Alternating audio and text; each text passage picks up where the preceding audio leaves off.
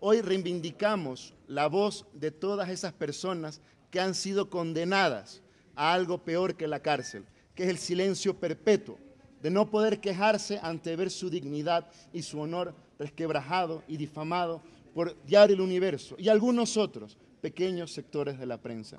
Eso es lo que hoy se discute en este proceso y ese es el hito histórico de este día, que por primera vez en la historia se adecúa la jurisdicción y la jurisprudencia ecuatoriana a lo que dicen los tratados internacionales.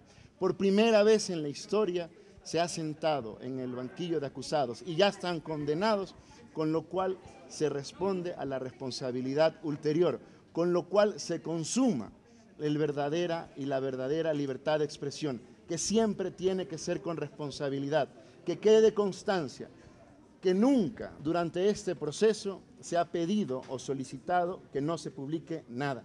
Siempre se ha permitido toda publicación y nunca se ha intentado ninguna medida administrativa o judicial para lo contrario. Lo único que se, lo único que se solicita es que exista responsabilidad ulterior y para eso estamos el día de hoy. Y suceda lo que suceda, el día de hoy el Ecuador ya ha ganado, porque ya se ha demostrado que son culpables del delito.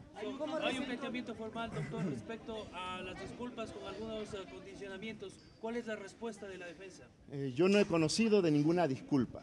La infamia a la cual hemos sido observadores el día de ayer es un chantaje más, una inmoralidad más y una prepotencia más de estos señores que se creen por encima de la ley. La Constitución, la, Constitución y los instrumentos internacionales establecen que tiene que haber eh, rectificación y no con ningún condicionamientos. Eso ha sido un chantaje y es una muestra más tan inmoral que lo hacen un día antes de la audiencia, es decir, demostrando que no es serio, demostrando que lo único que pretendían hoy es llenar eh, más papeles, llenar más periódicos con falsedades, con mentiras y con sinvergüencerías. ¿Imposible llegar a un acuerdo entonces? Eh, evidentemente ellos no lo han solicitado, ellos no han tenido una, una demostración ni siquiera de rectificación, lo que pretenden una vez más es chantajear, lo que pretenden una vez más es de manera inmoral, a través de su periódico, coercionar a las personas que en este proceso. de la audiencia, doctor, ¿se va a realizar esta audiencia? No,